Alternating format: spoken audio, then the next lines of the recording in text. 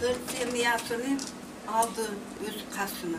Öz ballarıyla, bir bal çocuklarıyla beraber bize bir kırık etmedi, balalarıyla beraber verdi.